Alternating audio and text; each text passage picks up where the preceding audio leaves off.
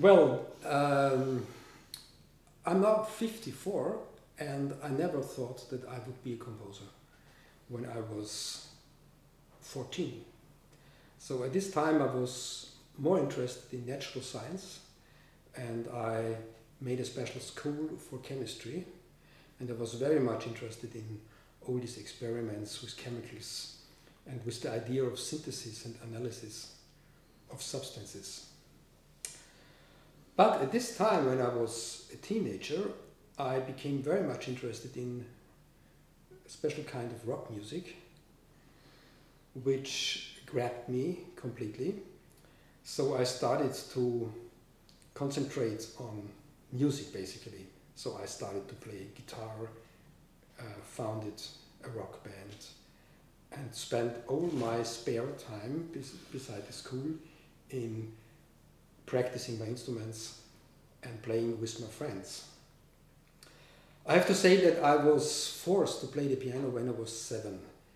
Uh, and I must tell you that I didn't like playing the piano. So this, this was something my parents wanted me to do. But when I was infected by a sort of music that really touched me, uh, this was when I was 14 and I heard different music than classical music for the first time, I knew that I wanted to do something like this in my life. But then, at the same time, something happened as well, that I became interested in avant-garde uh, classical music, so to speak. This was also partly influenced by a certain rock band which I admired, whose um, members happened to be students of Karlheinz Stockhausen, the famous German composer of early electronic music. And knowing or her, hearing the name of Stockhausen for the first time in my life is 14, I went to the library and tried to find books and records about him. And I found these books and they were very difficult to understand, full of diagrams and formulas and uh, tables of frequencies and images of his scores, which were very interesting to look at, but completely un understandable for me. So I started to listen to his music, which I didn't like at all at the, at the first time. But then, when I bought my first record of his music, I spent a lot of money to buy this record. So a lot of my um, private teenager money I spent on this record of Kontakte. This is, was one of those key works of electronic music of the late 1950s. And as I have spent so much money in this record, I wanted to like this music. And everybody knows in order to like something, you have to uh, dedicate yourself to it and repeat the experiences a lot. So I was listening continuously to this music, and at a certain uh, moment, I became hooked. Uh, so uh, this music, which I didn't understand first, suddenly spoke to me. And then it became clear that besides doing my, my thing as a rock guitarist, I became very much interested in this uh, electronic music of the uh, avant-garde of the 1950s. Um, after school, I decided to study musicology. Uh, having studied chemistry for five years, um, this was an abrupt uh, cut in my projected career as, a, as, a, as an um, chemist. And it was very difficult to convince my parents that this was the right decision. Um, after studying two years of musicology, I felt the urgent need to do something practical with music, not only theoretically. So I um, applied on the uh, University of Music as a student for composition and double bass. And uh, luckily I was accepted to study there. And then I started to learn all the basic things about uh, Renaissance counterpoint, uh, harmonization in the style of Johann Sebastian Bach, and all the things of music history that were important to know. And at this time, uh, I completely separated myself from rock music and the experience of uh, playing with friends together on the stage. I also uh, lost my contact or my fascination with Stockhausen because I first uh, started to work everything up from the ground, which I didn't learn in school, at school, during my um, teenage years.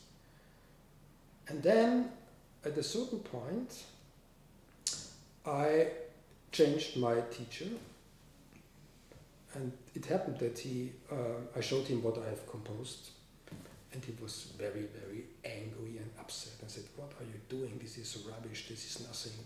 You should decide, uh, dedicate yourself to contemporary music and not, not all this classical or historical stuff that you're doing.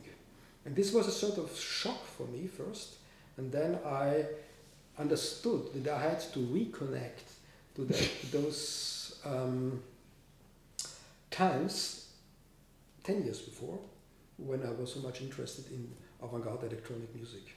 And this was sort of beginning of a real and serious career as a composer.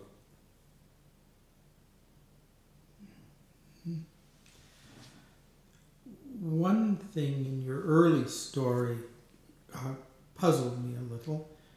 You bought Stockhausen's records before you liked them. Mm-hmm.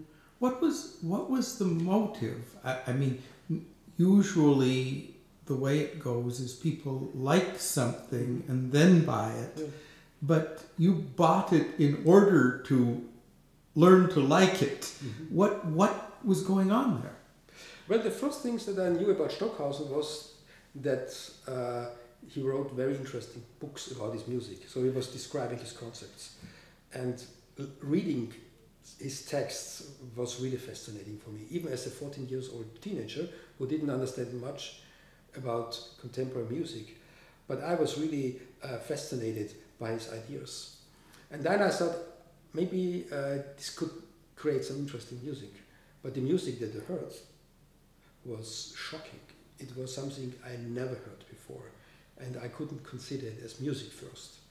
So then I had to uh, get into it, to uh, adopt my listening, and also all my experience, my music experience, I had to um, question in a way.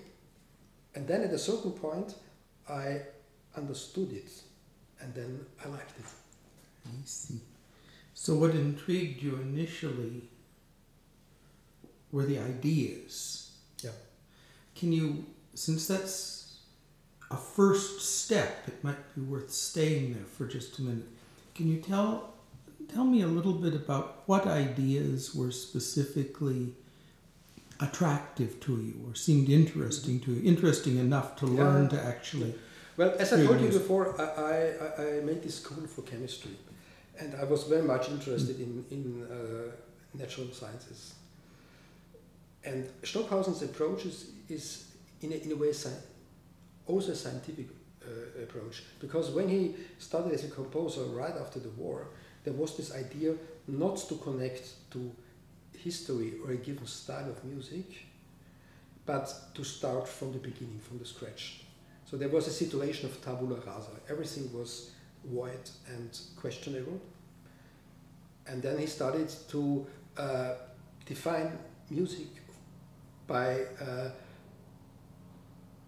directly operating on a mathematical basis with the elements of music. What are the elements of music? In, in Stockhausen's understanding, it was the, the domain of pitches, of frequencies, of energies, of timbre, of spectrum. And he was organizing those, what he called parameters, in a sort of mathematical ways by using formulas and numbers and a lot of functions that were interesting to observe. And this was maybe a connection between my chemical studies and these advanced musical concepts of Stockhausen.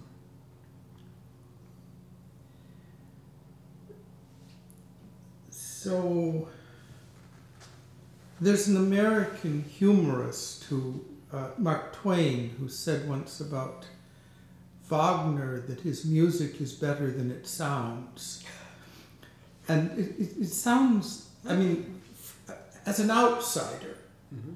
it sounds, well, it's hard to get my head around the idea of someone generating music from formulae of, of some sort, which he then expect, expects people to buy tickets for or listen to while washing the dishes or why what thought connected his formula to the psychology of his audience such that he would have any expectation that these formulae would result in pleasure or concert attendance or any of those things that musicians normally hope for. Yeah, well, you know, this was the idea of a utopia.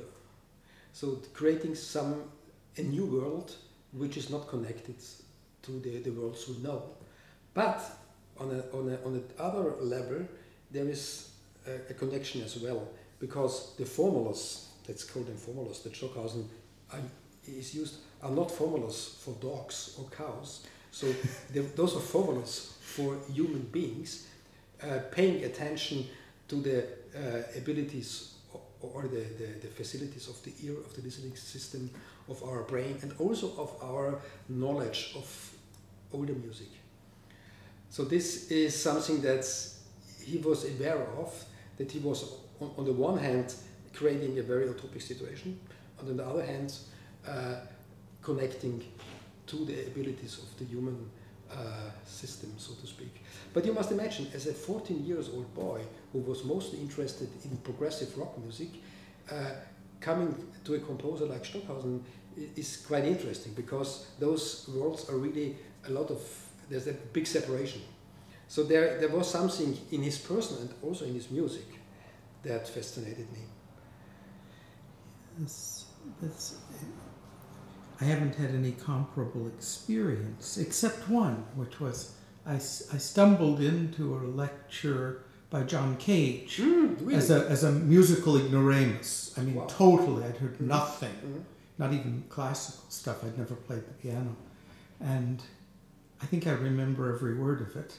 Yeah. It was, it was like that. So these, mm-hmm. it's the sort of the personal uh, power of these guys. The thing is, I never met Stockhausen at this time. I met him many, many years later. But I wasn't interested in the person of, of Stockhausen. I was more interested in his weird concepts and in, in these utopian ideas. And later, uh, I, when I learned to love his music, I really was fascinated by the things that he was doing. And the music of this band, it was a German progressive rock band called Can they're, they're making something that was um, uh, some early uh, sort of predecessors of, of techno in a, in a, in a, in a way which was uh, played 20 or 30 years later afterwards. Um, they made a music which is very much related to non-European music as well as some types of Asian or African music. So maybe this was the, the idea to uh, leave the Austrian culture soil where I was uh, living, forgetting all Mozart and Bach and Beethoven, and trying to find some fascinate, fascination in, in, uh, in, in sound or in music that was out of my, my focus and my education. I see. Um, can you say a little bit about this impulse to leave the Austrian cultural sphere behind? Where, where does that come from and what's that like? For you, or what, what, what well, at, this time when I was a teenager, I, I didn't reflect it so much. But but later, when I was uh, uh, studying music and musicology, and learned a lot of all the historical um, styles and, and the concepts, I became more interested in music outside our cultural uh, horizon. And for me, music became a sort of utopian concept, and this reconnects to Stockhausen, something where we can uh, try to climb up a mountain and look into the uh, beyond the horizon that we know and see and discover other things that might tell us uh, more about us ourselves in a, in a new way. So I became more and more interested in, in, in, in broaden my experience and to open my mind to the unknown. This word utopia keeps emerging here. Uh, and I, I guess I, I, I'd like to know a little more about what, what is in that word for you. How do you understand the sort of musical utopia? Well, I think the, the, the function of music is not entertainment. Hmm? Music can, in my opinion, is something that can be seen as a sort of drug. Uh, some, it's not, it's not a physical drug, but a, a drug that comes into your ears and that can change your mind and can also change your experience and put you into a, a, state of, um, let's call it trance, where you maybe switch off your erasure and your mind and experience things which you would not have experienced not by listening to music. I mean, you can open your mind by reading books, by having interesting conversations, by meeting people, by uh, doing sports or uh, physical um, exercise. But you can also experience new things and reconnect to deep levels of your unconsciousness by listening. And this is the thing that becomes more and more interesting for me. Even though I'm working a lot with those utopian, let's say, scientific, pseudo scientific, mathematical concepts in music, but the aim is to uh, reach deeper levels of my soul and my conscious and the consciousness or subconsciousness of my audience as well. From the lecture I heard from John Cage, uh, the purpose of music is to sober and quiet the mind and prepare it for contact with divine influences. Mm-hmm. This so, was in his Buddhistic period yes, when you say this, yes. Yes, uh, he also talked a lot about mushrooms in that period. I think, but but he, I, I think he was not not uh, mentioning those uh, uh, poisoners or or uh, how call we those mushrooms psilocybin. He yeah. was not referring to the drug, but he was the mushroom was for him uh, a symbol for something that you find in the woods and and you cannot plant them because they they happen and you can and if you have a sober mind and a good a good uh, eye you will detect the mushrooms and then you find them. And and there are so many species of mushrooms so you have to have a good knowledge of them in, in order to survive if you eat them. This is something he means. Nice. but you are right. I mean uh, i'm i have a very good connection to Cage and we met and we worked together for a project once. But uh, I'm not sharing his idea of um, sound that just happens by itself. So I, I'm, I'm, I have a different idea about music. Music has a lot to do with something that you achieve by, by work and not uh, by just let it happen. I also uh, estimate his ideas uh, of clearing your mind, of being sober, and open yourself to something that is beyond our horizon, but in a different way. And, and I'm not, I'm neither a, fellow, a follower of Stockhausen nor, nor a follower of Cage, but I, I, I drew a lot of inspirations from both. And I take it the point at which you agree with Cage, at least, is that music is a doorway to some sort of experience of life that might not be achievable any other way. Yes, absolutely. I like. I see. I see. So, um, I mean, the other player in this history, this early history, is rock music. Mm. and is that something I mean, looking back now and from an understanding of so many kinds of music, is that something quite different? Is that simply entertainment, or uh, how do you how do you understand that first stuff you played? Well, for me, this was it has not, nothing to do with entertainment. It was uh, it has this um, this ritualistic aspect, and also this aspect of getting losing yourself in the in the music, in the sound, in the dancing, or in the energy of of of of, of playing and, and, and listening.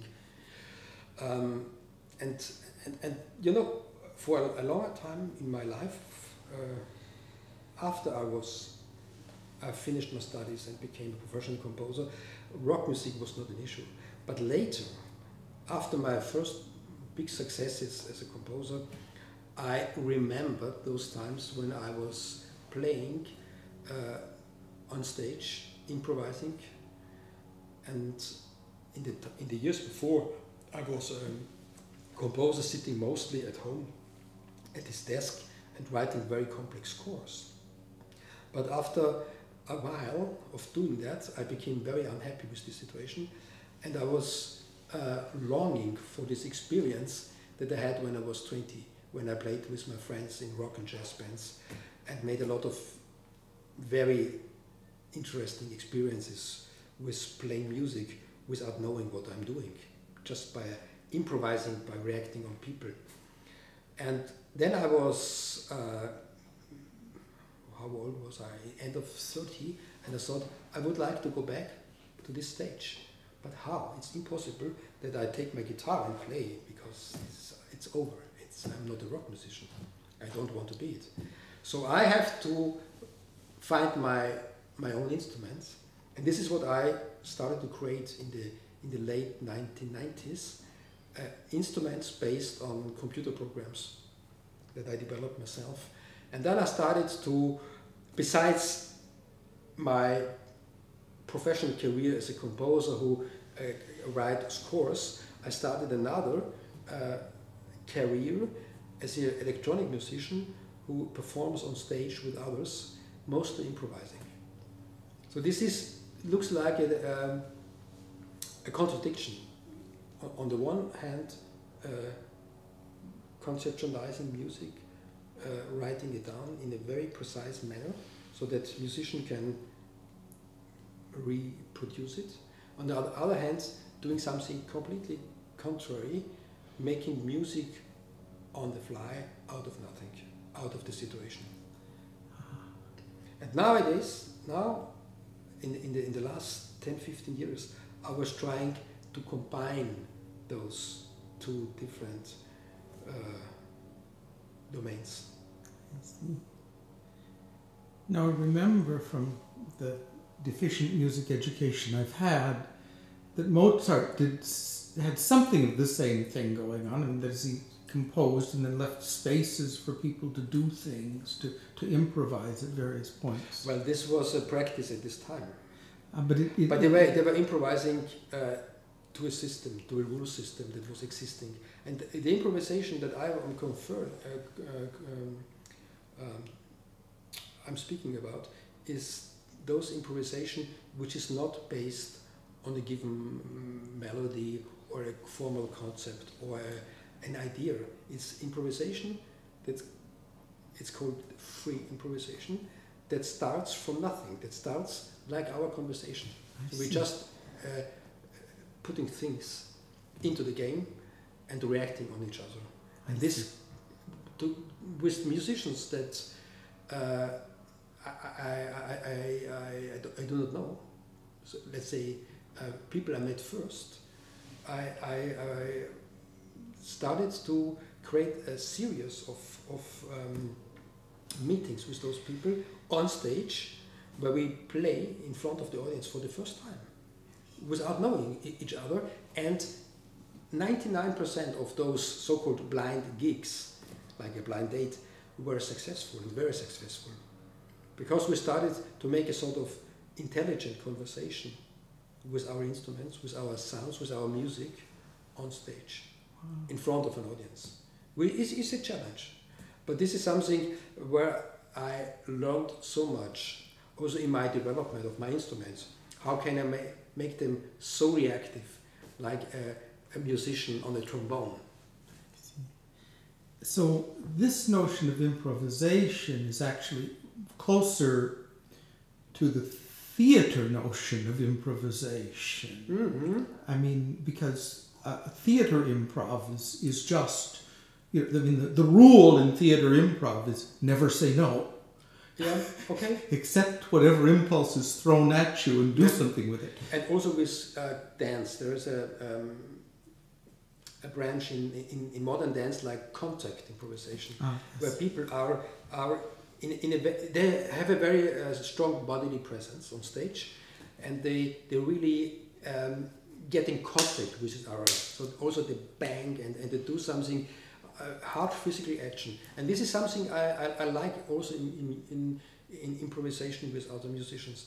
Not this clean setting where you sit on a laptop, uh, glancing at the screen and doing some movements with your mouse. But I, I, I like this bodily expression. So this is the reason why I, even though I, am using laptops, the laptop is uh, played by the means of external controllers, which are sort of um, extensions of my bodies, or let's say um, adapters that connects my body to the software. So I've, I've I've run into this before with some folks in Canada. You're actually inventing instruments Yes. in the sense of inventing these Mhm. ways of translating bodily movement through the software into sound. Yes. Ah, fascinating. So they're physical things. Yeah. I can show you afterwards. So Okay, I- great. This is what I'm planning for uh, afterwards. That Yeah. we that I give you a short, uh, spontaneous improvisation of, of something that is very new and never have been played before live. Because this is something I prepared for the concert next week I see. when I'm meeting um, an electronic musician from Germany, which I never met before. So we will meet uh, literally on stage for the first time, and then we play. Now, uh, could you clarify one thing? You are preparing something for this concert. How does the preparation and the spontan how do those 2 Mhm. things go together? The preparation. The preparation. preparation is building the instrument, Ah, and and maybe also um, creating a sort of vocabulary with this, and with this uh, instrument and with this uh, vocabulary, I can speak. I see. And then the the performer whom you've never met before, who joins you on stage, is he using the same instrument, No, or he's, he- doing, he's using something else? He's using his own voice, and and he has created some um, electronic processing of his voice, which he controls also with some physical um, devices that he created. So he's working in a in a maybe a maybe in a very similar way to me. I only know what, what he was doing by looking at some videos that I found about him on YouTube. So I understood what he was doing. I was listening. I was understanding his sonic world. And, and I'm, what I'm trying now to do is to create an instrument where we can uh, speak on the same level to each other. So he comes with the instrument that he's invented, that you know something about from YouTube video, YouTube videos. Only the sounds that Only comes out, sound. but I don't know how it works. I see. And he comes to you likely with the same kind of understanding of what you're up to from having watched YouTube videos. Mm-hmm. And then you meet and play, We yes. and whatever happens, happens. Yeah, whatever happens, happens. But the thing is, it everything what we do is governed by our ears. So we- we're listening, and we're trying to communicate as we are doing. We, we're not talking, speaking nonsense. So we're Mhm. trying to understand and and communicate. The same we do with our sons. Yes. So, a very elementary question in this sort of a concert meeting who begins? Do you flip a coin? No, someone. I see. Sometimes it happens that that uh, we make a, a decision that we say you start or I start, but most of the time we uh, we don't speak about it. I see. So, you're just up there, so perhaps you both start at once. I mean, you know, as a musician, you can start very softly with some sounds that are so soft that you won't notice them as music. Maybe you have the feeling that there's something, some see. A little fly or a bird in the space. Yes. So there are some techniques how to start a conversation. I mean, normally you you're speaking about the weather with someone in order to connect yourself. So there are some techniques for the, mu- the musicians who, who play first. So they, they maybe they would start with a very soft uh, situation that gives space and room for the other to connect. Must not be, but this is a, something which mostly works. So, how old is this idea of improvisation in this sense? How long has it had to develop traditions and practices and so forth? You mean in general, Yes, I, I or mean, in, in my music? well, I'm just thinking. Uh, I, I guess I'm interested in both questions. I mean, there must have been a time at some date or other when no one had Mhm. ever done this exact thing. hmm brought two people together without any re- rules or agenda to see what happened.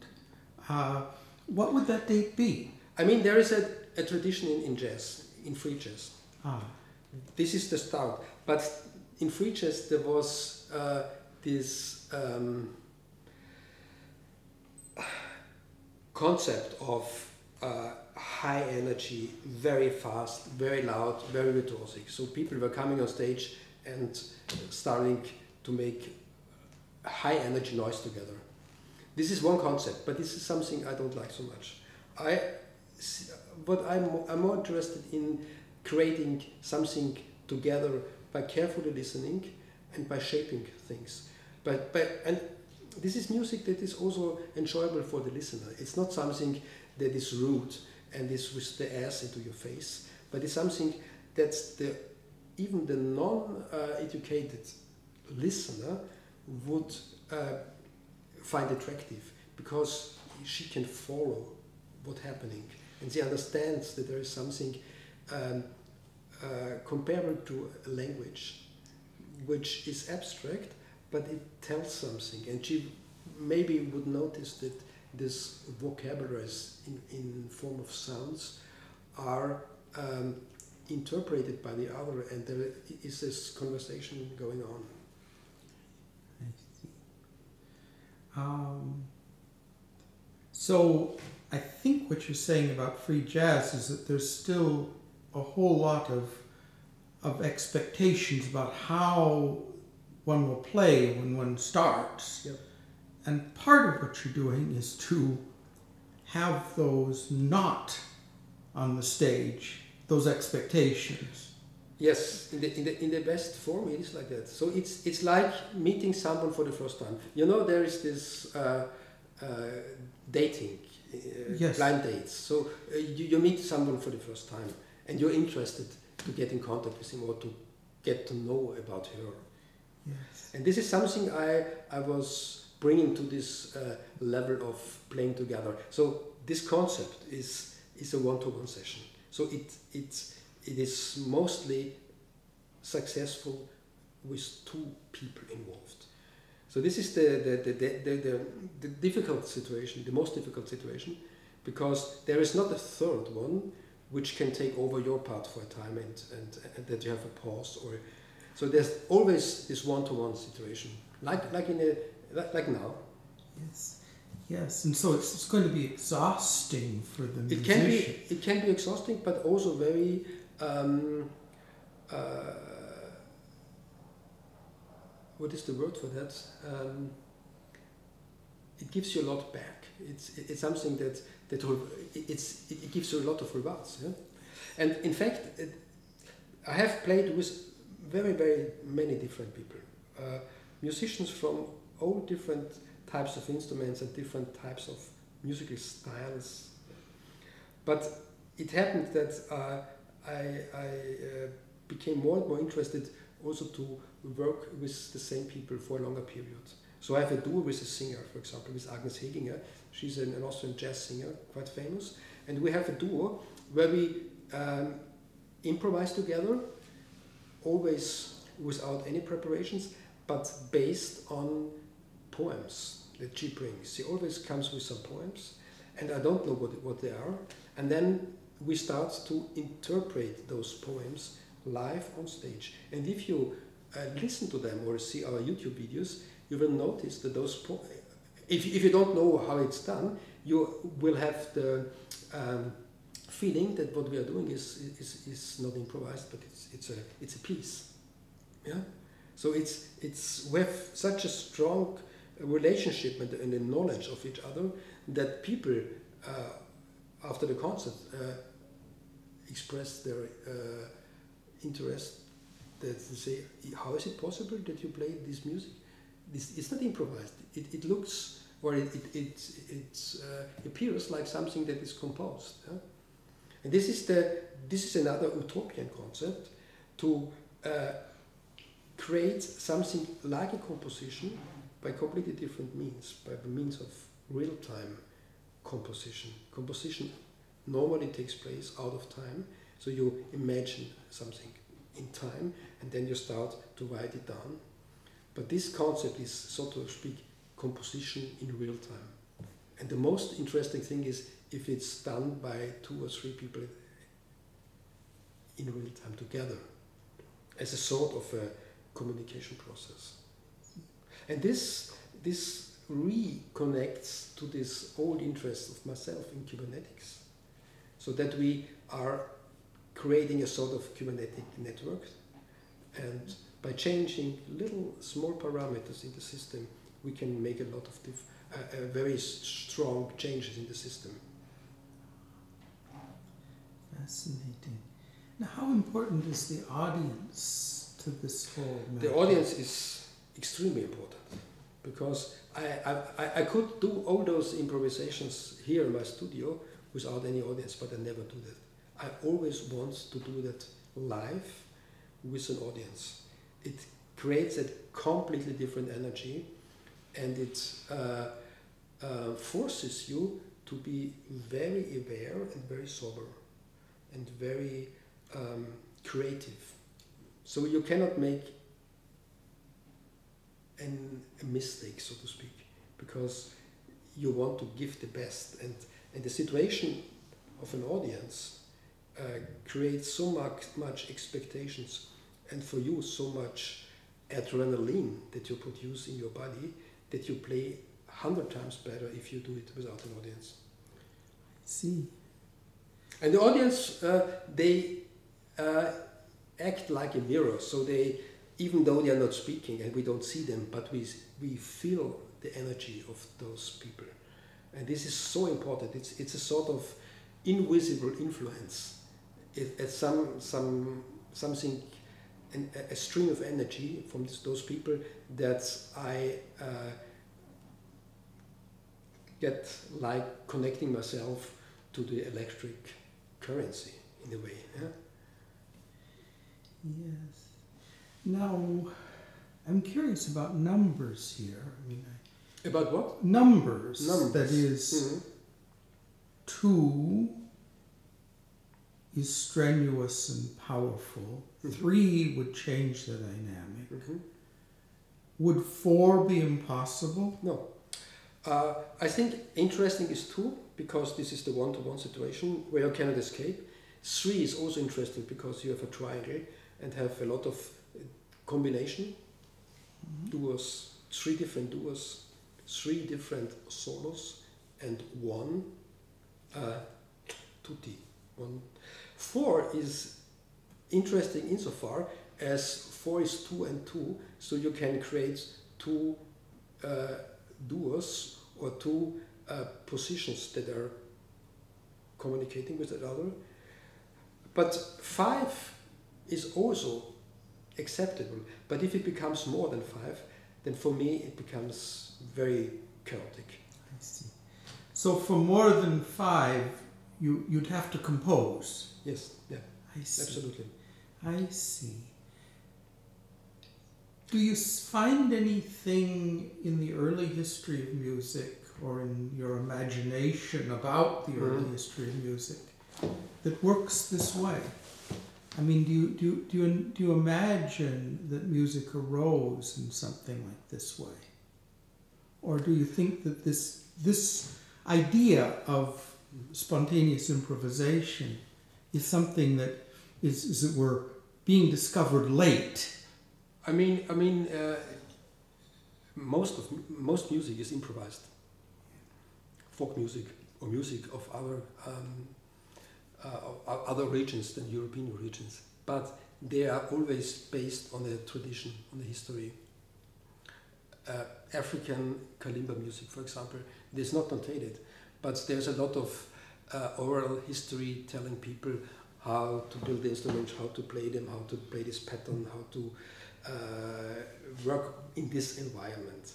But the idea of music that is created without a rule system at the moment, I think it's something very modern and something very contemporary, which has also to do with our with our times that we have uh, the possibilities nowadays to do something out of rules. I see. So it's it's the it's the as it were the fruition of a very long period history of development. Mm. Huh. I'm remembering as you're speaking. Some my, my, my daughter's a composer, although yeah. you know purely amateur so far. But I remember when she was uh, probably six, seven, we used to do games like that where I would make a sound and she would make a sound back and Mhm. try to get into a rhythm and the rhythm would Oh, yeah. change. And it was because I knew no rules and she knew no rules. It was totally, uh, Cool. uh, totally spontaneous. But it was just what I did with this particular kid because this was how she responded. Mhm. This was the sort of thing she could do with me. Uh, and probably the most successful things we ever did together with Mhm. that. I, I'm, I'm suspecting that other parents with musical kids may have stumbled onto that same exercise. It was, it was deeply uh, interesting that it just happened. We didn't plan it. Um, good. I know you teach Mhm. among other things. Mhm. And I'm wondering, given your love of improvisation and of spontaneity and of that kind of discovery that comes when people come together without an agenda, I'm wondering if that comes into your teaching, if that informs your teaching, or if your teaching is quite separate from that idea. Well, you know, uh, what I'm teaching is uh, graduate students, so they have they have already their the basics, and they are starting to become uh, individual composers. So they have they are now searching their own language, their own style, and I try to accompany them on her way, on their way, and not forcing them into a certain direction. So I'm I'm trying to be like a, a mirror, reflecting what they show me and and helping them to uh, find the right expression or express their ideas in the best possible way. So I'm not I'm I'm not trying to uh, uh, force them in the, in, into a certain direction. But I'm, if, I am speaking, I'm always speaking about my own experience, and as always, of course, those ideas of improvisation play a role. But but if they're uh, writing an orchestra piece, there is no no way for improvisation. So I'm I'm reacting on in, in, in, in, in a matter in a manner that helps them to write this orchestra piece. Do you think it's possible to bring along graduate musicians to do what you're doing on stage? Well, it's interesting that, that some of my music, of my of my uh, students and um, those people who had just finished their studies became uh, are doing similar things that I was I'm doing. Also um, having those this mix of conceptual work and improvisational work and building their own instruments. So it seems that there is something that influences those people who study with me in a way. Yeah, they, they are doing their things in a mm-hmm. very very uh, uh, um, personal uh, way, which is not connected to me. But there seems that nowadays this concept of a composer who is just a, a person sitting on a piece of paper and, and writing music is something which is changing now. I see. And I would guess that's something that it's very hard for the university or the academy to recognize. Why? Well, I just mean because, for instance, one has to say this composition is, first of all, the person's, and second, it's of a certain quality. But to the extent that, for instance, two people improvising on the stage are dependent on each other, it isn't quite the person. Yes. so this is an, an extreme uh, position. But between writing a, a, completely determined score and having this free improvisation of two, there's a lot of intermediate steps in between. And music uh, takes place in, in, this, in, this, in this variety of possibilities. So the, so the academy can, as it were, award a doctorate for something in the middle of the range, or yes, I mean my, my students do a lot of different things. Uh, so they can they can write string uh, quartets and they can make a sound installation. They can write computer programs. So they're very versatile and uh, they find their field in which they eventually make the doctorate afterwards. So you've you've told me a lot about this improvisation because it's it's clearly so interesting to me. And also at the moment because I'm preparing myself for this concert next week. so, but then the, the other question, I mean, do you continue to write music yes, yes, at the same course, time? Of course, it's so important. Uh-huh. I always uh, write music at, at, the same time. So uh, I just finished uh, two major compositions that are being premiered in, in the next uh, weeks and months. Uh, purely instrumental music without any electronics, with completely determined scores, no improvisation, no random operations, composed music that uh, is printed in a score. And you said that's important. Yes, because Why? You know, on, the one hand, it's it's interesting to have this freedom of doing things on the fly, and on the other hand, it's so rewarding to put something in the to put something on paper and and and define it in the best possible way. So for me, uh, I like so much to uh, create a piece of music which is like a jewel, so it's perfect.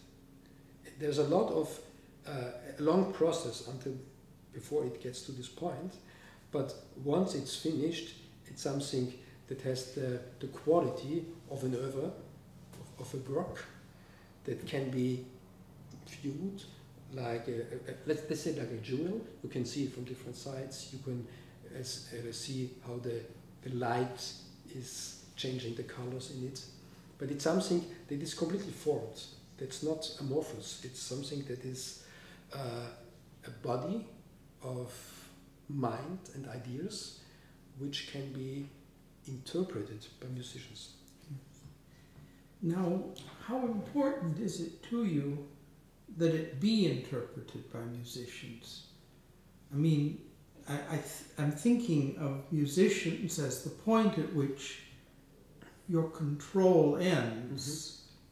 The Mhm. piece will be played as well as the musicians whom you have on that particular stage are capable of playing it.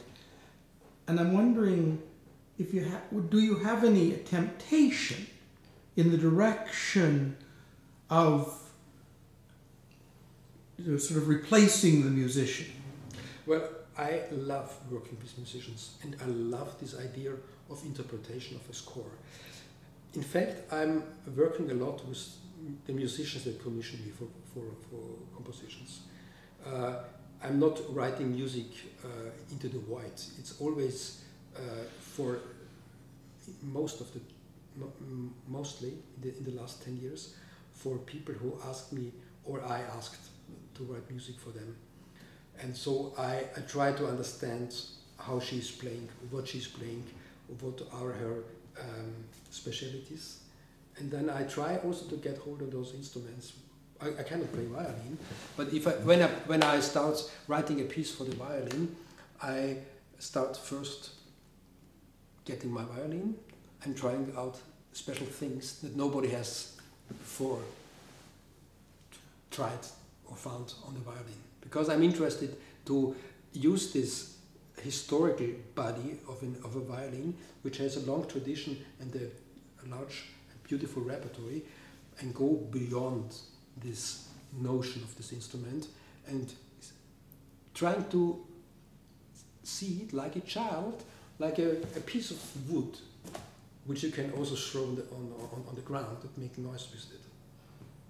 And then I, I start to reformulate this instrument and maybe finding different ways of handling it beyond the classical um, technique with the left and right hands and all this music that has been composed using these classical or traditional concepts.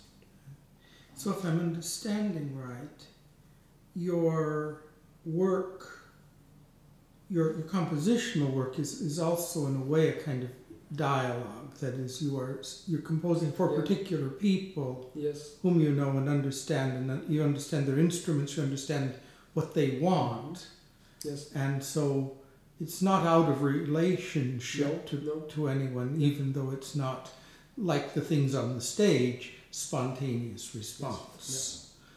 Uh, so it must be very strange for you to, to try to, to think about someone like Mozart who composed a great, I mean, I'm, I'm imagining composed a great deal. He composed things for particular people, surely. Composed a great deal just out of his head. but this, uh, yeah, I have composed like this before, but there was a point when I said I, I, I want to uh, not re- reduplicate uh, things that other people have already done. And I found a very interesting um, way of working with instruments and, and understanding instruments and also working in relationships to musicians. And the output of this uh, research that I'm doing, the fruits are much more interested and more personal than if I, I'm, I'm sitting there and, and, and, and, and writing music as I did in the 90s, for example. This is music that uh, is still uh, something I like, this type of music that I composed, but now I, I, I found, found a completely different way, much more in relationship to someone and not out of a, of a concepts that I have in my head. So, the old delight in playing with people and in having a relationship to the audience and responding to the audience from the rock days is kind of back in full force now. In, in a way, yes, yes. Maybe uh, this is why I'm, I'm quite happy at, at the moment that I, I, I found um, a way of, of integrating those old uh, streams of consciousness or m- types of music experiences from, from my early years uh, into my major composer being. I see. Um, I'm wondering if you see yourself at the beginning of something, or in the middle of something, or in the sort of complete, air, you know, realm of something. I mean, you're you're 54 years old. Uh, given the way lifespans work, Mhm. you could have 34 years. You know, you could have 30 years more of really high Maybe- quality maybe work year, you know but you don't know but Yeah. i'm thinking do you imagine yourself continuing in this mode in the into the indefinite future Mhm. uh, is that that kind Well, of picture Uh, this is a good question. I, I, this is something I like uh, of John Cage. That even though he was composing a lot of things and became a very famous and important artist in, in the 20th century, he was so inventive until his last years. So he never stopped progressing and, and to researching and going to new other directions. For example, in, in visual arts, uh, there it seems to be that artists tend to become a master in a, in a certain field. So they they have formulated a, a certain type of painting, a style, and then they paint hundreds of pictures in this style. But if you look at other artists like Picasso, he has certain periods. And, and in this period, he formulated the language and then he, he painted hundreds of um, pictures in it. Uh, and I'm maybe someone who tries to always to challenge himself, uh, to go into the un- unknown and to discover things uh, beyond my my experience. And this is also the reason why I like to work with computer programs because those I, those uh, um, this this work with trying to formulate an idea in, in terms of an algorithm or of, of a computer language, this helps me to understand what I'm want to do in a better way. so it kind of leads you into places you wouldn't ordinarily Yes, exactly. So for me, the computer is in in a, in a way a sort of can can be something like an inspiration machine, but a machine that I've constructed myself. see. Well thank you